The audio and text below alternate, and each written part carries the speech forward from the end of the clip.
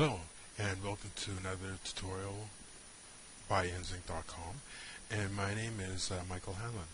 Today we're going to be fixing the uh, 1054 error which is uh, occurs once in a blue moon. Uh, we haven't updated this website in a couple of months and we came to, uh, to come and do our regular maintenance and we found this error. So one of the most important things that I stress all the time is that you definitely need to make a backup. And one of the better backup uh, tools out there is Akeeba Backup. It makes it really easy to, uh, it's a one-click uh, backup and restore process. Okay, so what you're going to do is you're going to go to your extensions,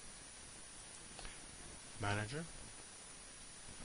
Once you get to your extension manager, you'll click on your database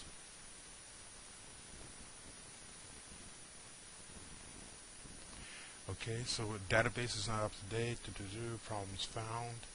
Alright, so what we're going to do is that we're just going to go ahead and click fix.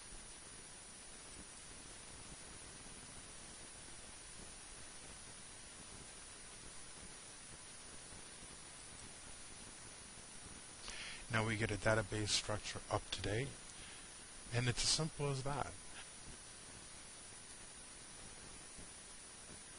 And now when we come over to the Joomla update, the error is gone.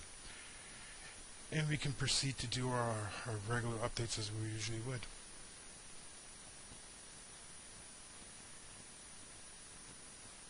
Once again, thank you very much. My name is Michael Hanlon, and uh, have a nice day.